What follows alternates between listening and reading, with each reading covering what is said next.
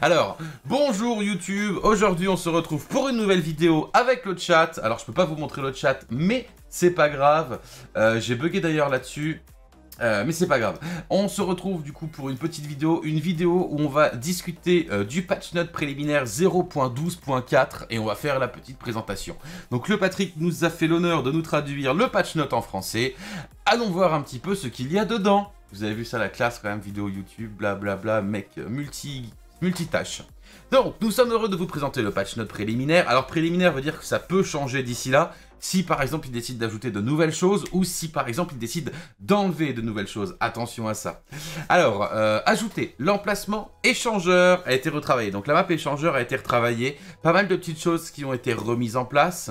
Euh, alors je sais pas de ce qui va exactement se dire dans ce patch note, mais par exemple les lumières qui ont été refaites, euh, l'ajout d'un système électrique euh, arrêtable qui a été mis en place, des alarmes qui ont été ajoutées, ce genre de choses. Donc là, ils nous disent que l'éclairage de l'emplacement échangeur a été retravaillé. De nouveaux objets interactifs et points d'infiltration. Alors, point d'infiltration, je sais pas trop ce que ça veut dire. Objets interactifs, c'est du genre les alarmes. Ça, ça risque d'être assez sympa. Euh, des nouveaux problèmes de rendu des objets jeunes de collision physique ont été résolus. Donc alors ça, on peut s'imaginer effectivement, je sais pas si vous vous souvenez, il y a un escalier au niveau du IDA où on peut voir au travers et savoir tout ce qui se passe devant nous sans que nous on soit vu. Peut-être que ce problème de rendu sera travaillé, on va voir. Salut Union Fort Clear, comment vas-tu? Nouvelle mécanique de surpoids du personnage qui va être ajoutée. Donc le personnage va recevoir des nombreux effets lors du transport de certaines quantités de poids. Augmentation du bruit de l'équipement, donc déjà que ça faisait un bruit euh, infect, déjà qu'il y avait des bugs de son, ils ont décidé de continuer à toucher au son. Donc augmentation du bruit de l'équipement si on porte trop, limite de la vitesse de déplacement si on porte trop, augmentation de la consommation de stamina, etc.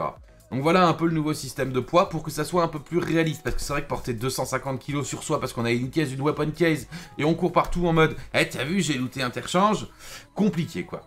Euh, il y a l'effet de fatigue qui a été ajouté. Alors du coup, euh, la fatigue, en fait, elle n'apparaîtra que lorsque le personnage maintiendra la stamina à bas niveau. Donc vous savez, moi par exemple, euh, je dis souvent, la stamina, il ne faut pas la descendre en dessous du rouge. Et pourtant, moi je suis tout le temps dans le rouge. Parce que quand vous êtes à la thermique, vous visez tout le temps. Quand vous courez, vous courez tout le temps. Plus vous allez maintenir votre stamina basse, plus en fait vous allez la fatigue qui va augmenter. Et si la fatigue augmente, votre consommation d'énergie augmentera aussi. Donc en gros, en fait, euh, on critiquait à une certaine époque que l'énergie ne descendait vraiment pas vite. Maintenant, euh, vu que quand on se perce le stomac, l'énergie descend aussi, on avait quelques consommations d'énergie qui étaient importantes. Là, on va se retrouver avec une consommation encore plus grande. Donc, on va devoir effectivement, comme le dit Patrick avec sa petite blague, n'oubliez pas votre pique-nique, on va devoir vraiment penser à prendre bouteille d'eau et euh, nourriture sur soi presque tout le temps. Elle sort quand cette mage? On ne sait pas. Euh, l'indicateur de stamina est divisé en deux, les bras d'un côté, les jambes de l'autre.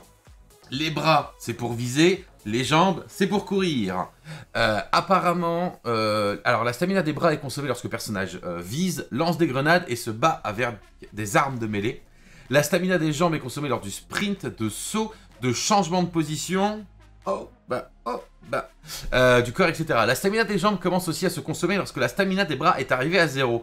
Chose que je comprends pas trop. C'est-à-dire que si vous visez trop longtemps, au bout d'un moment, si vous avez plus de stamina, il va consommer celle de vos jambes. Ça va être pique-nique euh, from Tarkov. Alors clairement, on avait des campeurs de bush, maintenant, on va avoir en fait des mecs qui font un barbecue. Euh, salut Patoche, euh, bonjour, Kurémi, comment vas-tu? BHVVVB, hein? Il y a ton chat qui tape sur ton clavier, salut Yokol, comment vas-tu? Du coup, la stamina c'est bon. Les boutons commerce, marché et personnages ont été ajoutés dans le panel en bas de l'interface pour permettre un accès plus rapide. Donc en gros actuellement, pas du tout ça que je voulais faire. En gros actuellement pour aller chez le marché, il faut que je fasse échappe, commerce, marché. Et eh bien maintenant, ils devraient nous rajouter les boutons ici, de ce que j'ai compris. J'en suis pas tout à fait sûr, mais ça devrait être ça. Euh, on a des nouvelles grenades qui sont arrivées, les... basées sur les prototypes de Vogue 17 et Vogue 25. Je ne sais malheureusement pas du tout ce que ça veut dire. Alors attendez, il faut que je fasse F11, hop, Vogue 17. Euh, je sais pas ce que c'est comme grenade en fait. Je l'ai vu, mais je sais pas du tout ce que c'est. Ce serait pas plutôt à côté de la config et tout Peut-être, à voir. Moi, si c'est ça, je veux la possibilité de faire cuire mes adversaires. Ça va la forme vous Ça va bien Bonjour Azrael.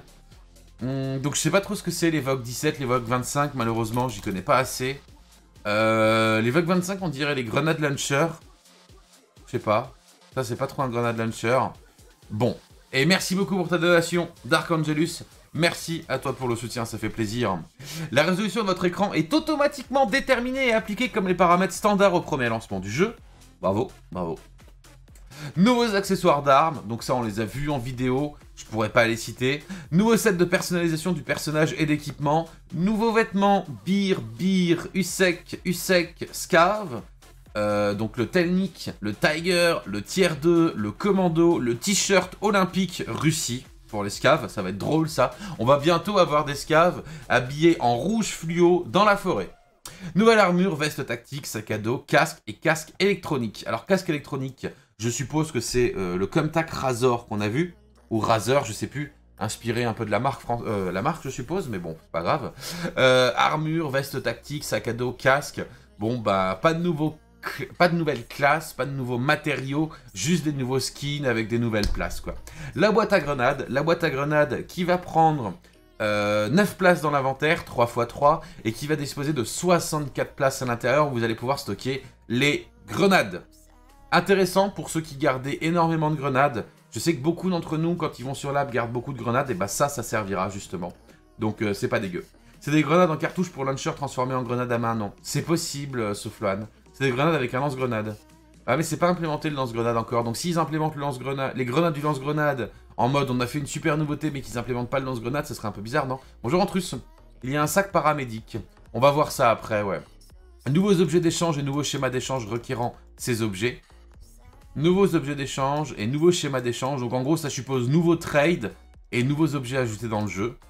Euh, nouveau schéma de construction de la planque. Ah, des nouvelles choses à faire dans la planque, ça peut être marrant. Non, pardon, c'est des nouveaux crafts dans la planque. Le schéma de construction, c'est bizarrement traduit en français. Des nouveaux crafts dans la planque, on sait pas ce que c'est. Euh, moi, je sais pas en tout cas. Nouvelle quête avec de nouveaux sous-ensembles comme réponse. Donc je suppose que ça va être des quêtes qu'on va pouvoir faire et on choisira à qui on les rend avec des influences. On va voir.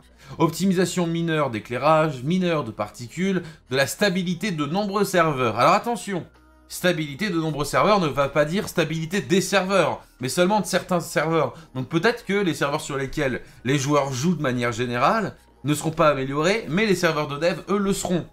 A voir, je sais pas trop ce que ça veut dire, de nombreux serveurs. En général, on dit augmentation, optimisation de la stabilité des serveurs, pas seulement d'un sous-ensemble de serveurs. A voir. Corriger. Alors là, il y a une liste de corrections. Euh, on va la lire en diagonale. Voilà, donc on a un problème de résolution. La préconfiguration des armes qui devrait mieux marcher. Ah non, ça a gelé le jeu. Ça, ça a été résolu pour moi. Euh, les corps d'IA pouvaient disparaître lors de la reconnexion. Ça, on l'a déjà vu. Euh, la boîte à scave, le message d'erreur a été résolu. Ah non, c'est la notification. Ok, ça c'est bon aussi. C'est quand on, finissait de construire quelque chose. Impossible d'entrer dans la planque, jamais eu ce problème. Ah, ça, ça fera plaisir à certains joueurs. Hmm. Ah, c'est bien ça. C'est bien. Maintenant, vous ne serez plus redirigé vers le menu principal, avoir eu l'erreur, votre inventaire est plein. Ça, c'est cool aussi, parce que c'était casse-couille. En plus, ça prenait 15 ans. Euh... Ok. Ah Ah non, c'est de ne pas apparaître. Moi, c'est ceux qui apparaissent qui m'énervent. Euh... Ok. Derrière l'écran. Hein. Ok, changement. Les paramètres des stimulants ont été ajoutés. Alors, les stimulants, sur ceux qui ne savent pas, c'est les drogues. Donc, c'est les drogues que vous allez pouvoir trouver un peu à droite à gauche. Là, j'en ai quelques-unes. Par exemple, le SJ6, l'adrénaline, le ETG, la Zagustine. Alors là, ce qu'ils nous disent, c'est qu'en gros, ils vont réduire les effets négatifs. Donc là, comme vous pouvez le voir, on réduit la récupération d'hydratation au bout de 170 secondes pendant 50 secondes de 1,4. Le métabolisme, 5 secondes après l'utilisation, pendant 3 minutes, aura moins 10. Euh, pareil pour celui-là, en fait, ça fait baisser euh, l'énergie, ça fait baisser le skill endurance et le skill heals. Euh, celui-là fait baisser la récupération d'énergie, d'hydratation. Il semblerait que les effets soient devenus un peu plus cool en fait et plus utilisables. Parce que les drogues actuellement on les utilise pas pour deux raisons. Premièrement ça coûte cher donc pourquoi utiliser des trucs qui ne sont pas vraiment indispensables? Et deuxièmement c'est plus un pique-nique qu'il faut tuer en fait quand tu utilises les drogues, c'est un buffet à volonté. Donc voilà. Le poids de nombreux items ont été ajoutés. Euh, ajusté, pardon. Effectivement, nouveau système de poids. Euh, les poids, quand ils les mettaient au hasard, en mode la batterie de tank, elle faisait 45 euh, kg, la batterie de voiture en faisait 40. Je pense qu'effectivement, ils ont ajusté de manière un peu plus proportionnelle les différents objets. Et peut-être que les objets aussi sont un peu plus ajustés en fonction de la taille que ça prend dans le stage, quoi. Le marché est maintenant disponible à partir du niveau 15 du PMC. auparavant, il était disponible à partir du niveau 5. Qu'est-ce que ça va changer? À partir du niveau 5, on pouvait commencer à acheter ce qui nous manquait. Maintenant, ça ne sera plus possible, ce sera à partir du niveau 15. Donc, pour les joueurs qui voulaient modder leurs armes, c'est dommage. Pour les joueurs qui voulaient acheter la Lucky Scap Junkbox, on se rappelle que sur mon ancien reroll, pas celui que je fais actuellement, mais encore l'autre, j'avais acheté la Lucky Scap Junkbox niveau 6 et j'avais 2,5 millions. Euh, là, ça va changer effectivement cette donne-là. Maintenant, euh, est-ce que c'est vraiment grave? Il y a un moment ou un autre où, quand tu commences le jeu, t'as pas besoin d'avoir accès aux flics, sauf si tu veux ressembler aux streamers, youtubeurs que t'as vu. C'est pas une bonne idée, surtout dans le jeu où on perd très vite. Donc je pense que c'est pas mal que ce soit plus accessible tout de suite. Donc soit t'achètes pour ressembler aux streamers, youtubeurs, soit t'achètes parce que tu connais déjà le jeu. Si tu connais déjà le jeu, le niveau 15, il est atteignable en 10 heures de jeu. Donc pendant 10 heures, tu fais les quêtes. Et voilà. En plus de ça, ça permet euh, d'éviter euh, les comptes qui ne jouent jamais au jeu. Même si, encore une fois, la personne qui a le plus de réputation au fli est déjà level 70 depuis 3 mois. Euh, ça empêche des bots qui ne sont jamais joués, éventuellement. Même si, encore une fois, le niveau 15, c'est une 10 heures de jeu. A voir, à voir. Patoche, merci beaucoup pour ton resub. Merci à toi pour ton soutien, ça fait extrêmement plaisir. Le marché maintenant, donc ça c'est bon. Les petits viseurs réflexes ont été réduits. Ont été réduits. Ont été réduits. Je sais pas ce que ça veut dire. La valeur des précisions dans les caractéristiques des armes sont maintenant affichées en unité de mesure d'angle. Ok. Ça, je demanderai à Titi ce que ça veut dire, malheureusement. Il y a un expert en armes dans le chat, là, qui peut m'expliquer. Nous avons ajouté un nom d'arme aux préconfigurations standard armes qui fait la relation à cette dernière. Bravo Bravo Parce que c'est vrai que ça, c'était casse-couille. T'étais obligé d'acheter l'arme pour la configurer. Tu pouvais pas juste créer un template, quoi. On va mettre un petit cœur. Alors, je peux pas mettre un petit cœur, moi? Ah si, là, ici. Thanks Merci, poteau Patrick. La taille du crosshair du viseur.